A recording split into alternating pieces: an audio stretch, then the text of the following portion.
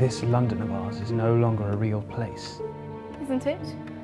How can that be? What do you mean? The city, and everything in it, right up to the furthest boundaries, is a rebuilt, restored recreation of its own past.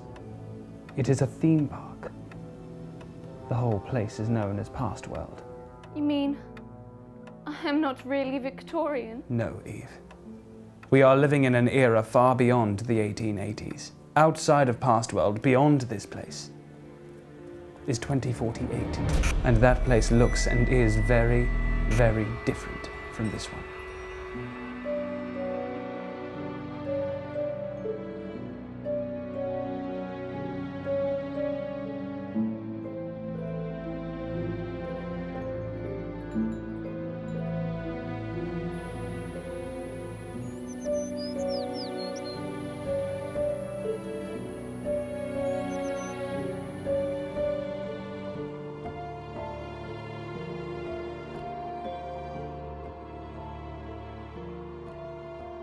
You've never heard of the Phantom either.